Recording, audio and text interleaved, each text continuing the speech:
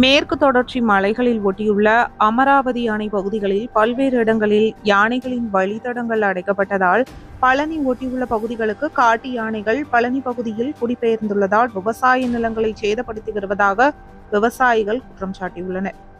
பழனி அருகே தென்னை மாமரங்களை யானைகள் சேதப்படுத்தியுள்ளதால் இருநூறுக்கும் மேற்பட்ட மரங்கள் சேதமாக்கி பத்து லட்சம் ரூபாய்க்கு மேல் பாதிப்பு ஏற்பட்டுள்ளதாக விவசாயிகள் வேதனை. திண்டுக்கல் மாவட்டம் பழனி அருகே மேற்கு தொடர்ச்சி மலையில் ஒட்டியுள்ள பகுதிகளான சட்டப்பாறை கோம்பைப்பட்டி ராமப்பட்டினம் புத்தூர் கணக்கன்பட்டி உள்ளிட்ட பகுதிகளில் ஏராளமான மான் காட்டெருமை யானைகள் சிறுத்தை அதிகம் வசித்து வருகிறது. இந்நிலையில் சட்டப்பாறை பகுதியில் கடந்த சில மாதங்களாக காட்டு யானையின் அச்சத்தால் விவசாயிகள் கவலையடைந்துள்ளனர் கடந்த சில மாதங்களுக்கு முன்பு இரண்டிற்கும் மேற்பட்ட விவசாயிகள் காட்டு யானை தாக்குதலில் பலியாகியுள்ளனர்.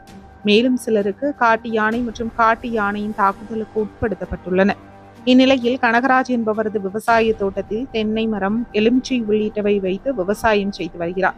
இவர்களது தோட்டம் மேற்கு தொடர்ச்சி மலையை ஒட்டி உள்ளதால் காட்டு யானைகள் கூட்டம் கூட்டமாக வந்து மா தென்னை போன்றவற்றை நாசம் செய்து வருகிறது. இதில் நூற்றுக்கும் மேற்பட்ட மாமரங்களில் மாங்காய்கள் விற்பனைக்கு தயாராக இருந்த நிலையில் இரண்டு நாட்களாக காட்டு யானைகள் தோட்டத்தில் புகுந்து மரங்களையும் காய்களையும் சேதப்படுத்தியுள்ளது.